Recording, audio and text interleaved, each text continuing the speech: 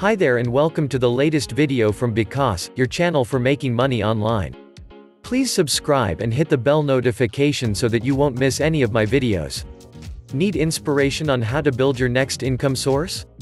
Whether you're looking for a side hustle, or your next main income stream, it's important to get some inspiration and learn about as many opportunities as possible, that way, you can choose the income source that's best for you. 1. Affiliate marketing, choose a subject, ideally a passion of yours. Then create a web page, some videos, a Facebook or Instagram page about your passion. Once you have access to your newly built audience, you can place a link on your page, enabling your fans to purchase something using your referral code. If they do buy something, you will get paid through the referral link. The easiest and safest way to get started with this profitable endeavor is to sign up for ClickBank University. They teach you everything you'll need to know for affiliate marketing. Just use the link I'm providing in the video description to sign up. 2. Self-publishing. By the way, please smash the like button because it really helps me out. Back to self-publishing. These days, it is very easy to publish your own book.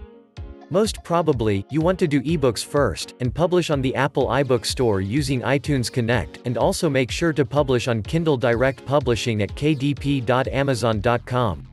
If your ebook is successful, consider having a print edition as well with the print-on-demand function included in Kindle Direct Publishing.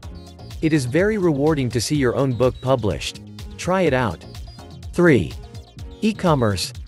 A trend within e-commerce that has become increasingly popular is called dropshipping. It means that you find other people's products, create a shop page for it on shopify.com, and every time you receive an order you create another order towards your supplier, often through sites like aliexpress.com.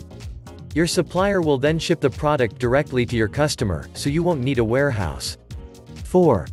Car sharing. Using apps like GetAround, HyreCar, or Turo, you can rent out your car and make money. This is a highly recommended way to make money because it is largely passive.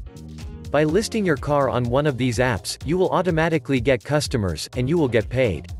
It is also scalable, you can list as many cars as you like. 5. Create compilations on YouTube.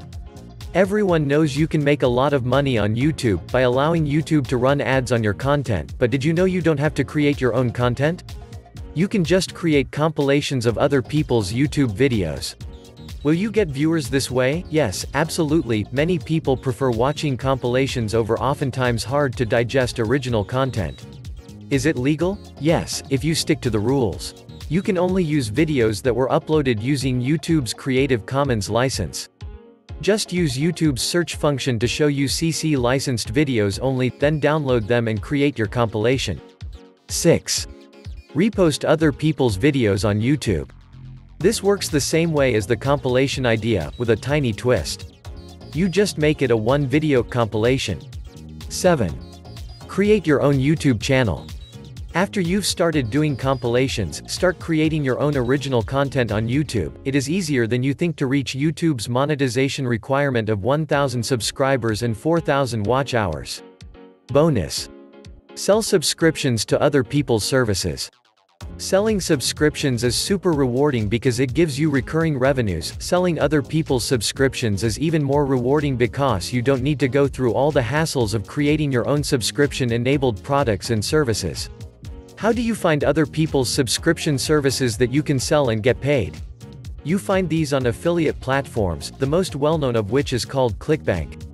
Check out the link I provide down below in the description to get started with ClickBank. Thank you so much for watching. Don't forget to subscribe and see you next time. Bye.